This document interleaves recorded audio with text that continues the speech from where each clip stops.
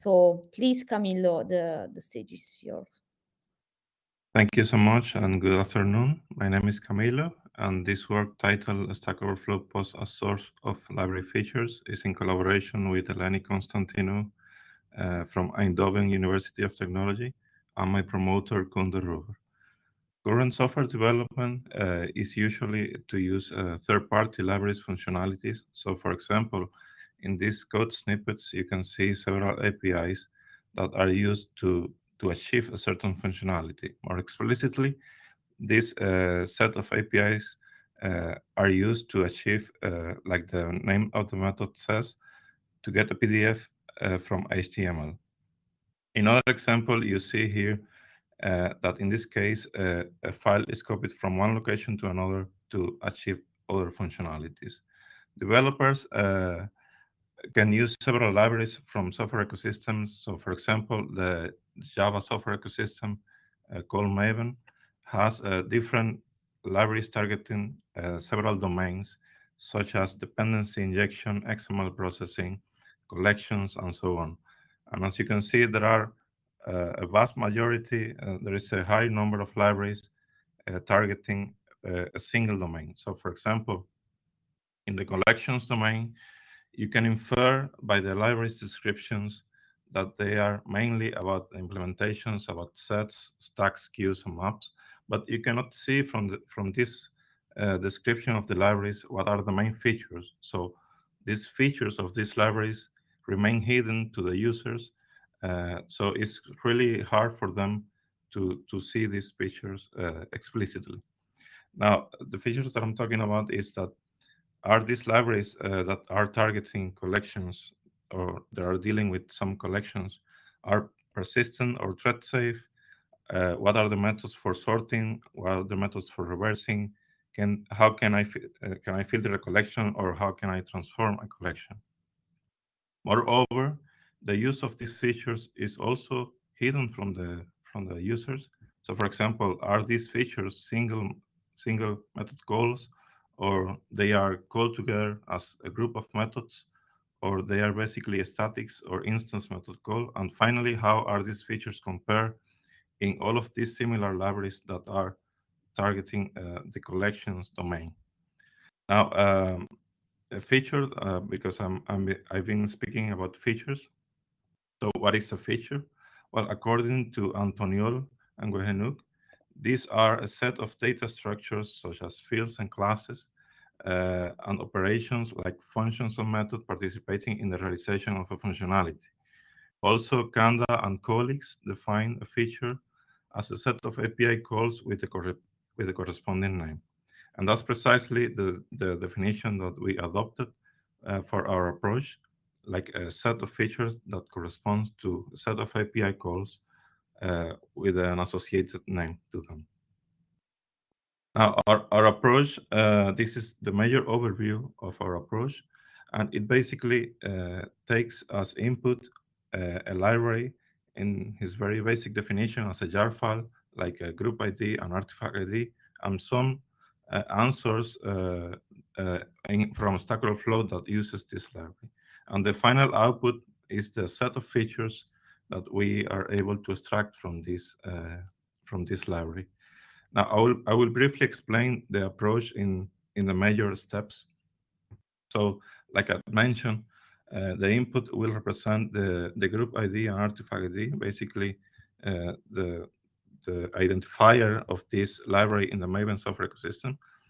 And then we're able to download the jar files from uh, from the Maven software ecosystem. Now, from Stack Overflow, we uh, collected the answers uh, that uh, have, as part of their tags, the name of the library. So in that way, we have a set of answers for, for the, the library that we are analyzing. Now, the next step is about filtering. And first, we filter out those answers that do not have any code associated with it. So for example, this is an answer uh, about the Weka library, and as you can see, there is no code there. So we, we exclude those answers. Then with, with information that we uh, gather before, like uh, classes and public API uh, methods, we are able to we define uh, an island parser that is focused on the on the on the API calls, uh, and we are able to use this island parser to extract the information that we are interested in. Uh, this is very convenient here because the thing is that most of the Stack Overflow answers they do not follow uh, a syntactic uh, guideline, so they have syntactical errors, and moreover, uh, they um, they can't have so for example a proper method or a class definition. So that's why we use an island parser instead of a classical answer like eclipse jdt uh, to parse the, the code. We also extract from the answers the textual information around this code like the description and the title uh, of the post where this happens uh, now, with the information from the from the island parser, we match that it is indeed uh, the classes and methods extracted from the jar files. Now, with the filter information, we were able to to define two sets of features, one about textual information and one about API usage information. And in the case of the textual information, is uh, are the, the post titles, the body of the question and body of the answers. And in the case of the API users, so the code, uh, the attributes are method names, and the, the method names divided by camel case, which is the style for Java. And finally, the API call. So basically, a class name uh, dot the method name. Now, uh, very brief, briefly explain here that uh, for the textual information, we train a TF-IDF model. Something was mentioned about in the in the previous presentation. Uh, and with this model, we vectorized all the, the, the, the, textual information in the answers, and then we cosine similarity, we compute the similarities between the vectors. So the final goal here is to obtain a similarity matrix uh, in order to group a set of API usages and to see if they correspond to actual features. In the case of code, uh, we only computed the Jaccard similarity between the API uh, usages. Uh, so any kind of combination of these attributes, we, and then we, ch we check whether these clusters are, or, or the information that is gathered together, it will correspond to features. Now, with these similarity matrices, we're able to, to train uh, a cluster. And in this case, we selected um, the hierarchical clustering. And for this, uh, you usually have to select a threshold, and this threshold represent will represent a, a cutting a cutting point in the dendrogram that is formed. And uh, when you cut uh, the dendrogram, the remaining branches will correspond to the formed clusters. And it's depending on this cutting point that you will have uh, the quality of the clusters will depend on this cutting point. And this is a very hard uh, task to do because there is uh, if, if you if you have like a static cutting point, you will uh, probably uh, not be able to to obtain the optimal uh, the optimal clusters. And in that case, we have uh, so our goal is to improve the silhouette score for the form clusters uh, and to so the silhouette score is a metric between minus one and one and the closer to one it means that uh, the, the clusters are more well formed, so they are uh, better distinguished between each other. And instead of, of a static approach, we uh, adopted uh, a, a, dynamic approach that is basically pays attention to the similarity between each, between each element and selects different, different thresholds for each cluster. This is uh, a technique that was proposed some time ago, and it's basically a dynamic uh, tree cutting, and this uh, package is available in, in, the R ecosystem. Now, with this, um, we're able to extract clusters that are hopefully more uh, optimized, and they group together API usages. But then we need to select those clusters, and the ideal cluster for us uh, would be that one in which the feature is clearly depicted. So each of the clusters will contain API usages and the textual information uh, from these API usages. And uh, we need to we need to see uh, if the API usages are frequent or not. So um, we adopted a, a local outlier uh, factor technique that detects this kind of outliers in each of the clusters uh, to select those clusters that contain API usages uh, more frequent than another. For those that uh, do not contain this kind of frequency, we, we exclude them uh, because they are not very prevalent.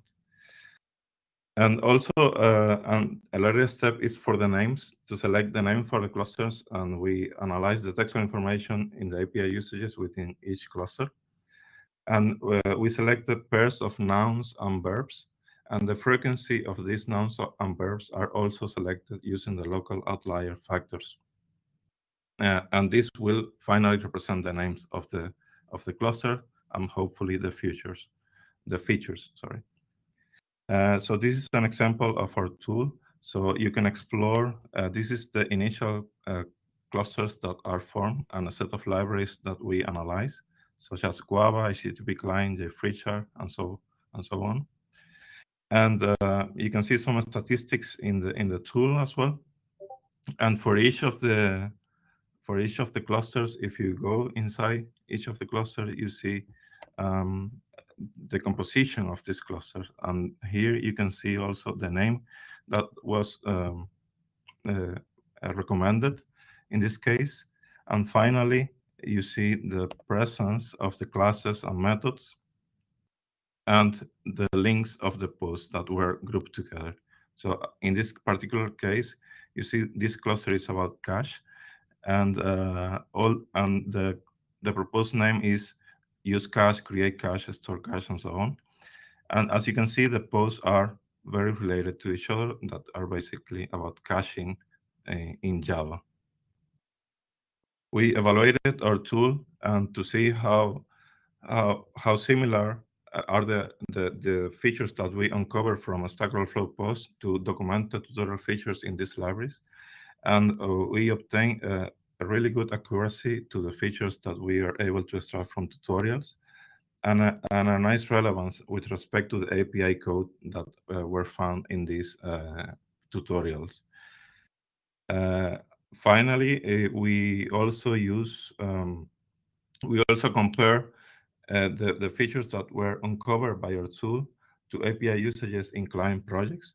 And we also see a high percentage of, of those usages, of those uh, features, sorry, uh, that were uncovered by our tool that were present in, in GitHub client projects. And also the relevance was uh, also uh, significant. So that means that these um, that the features that were uncovered by our tool are also present in the API uh, in the API uh, client projects.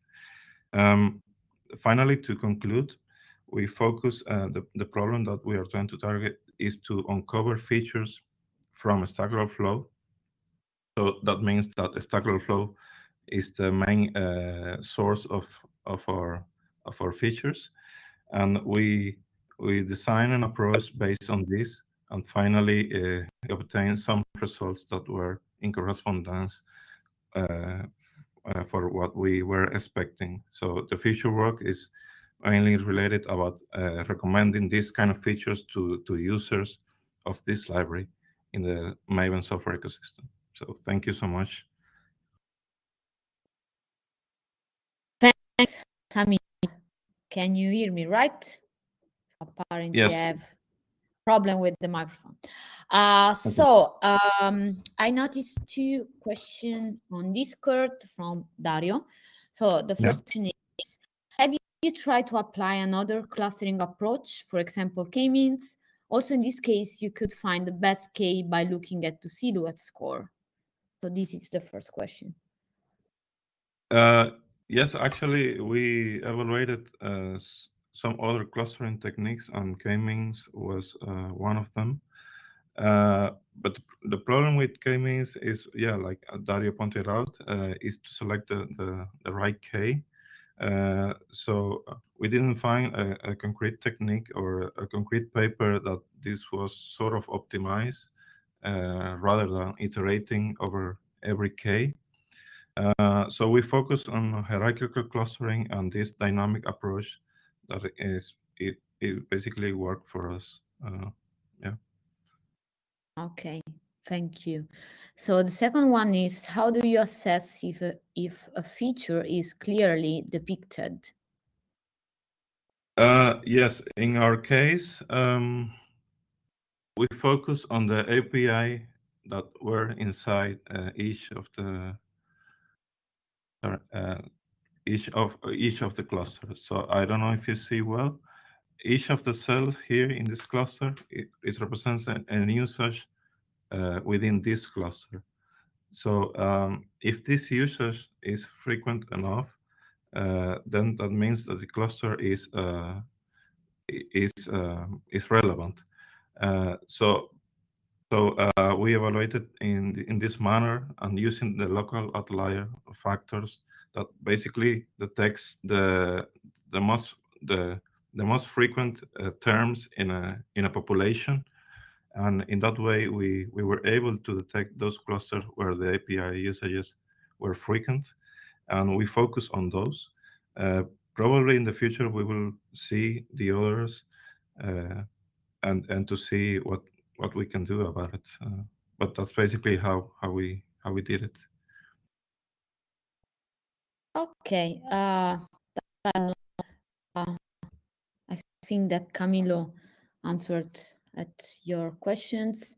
Any other questions, comments? You can also unmute yourself. Uh, no? Okay.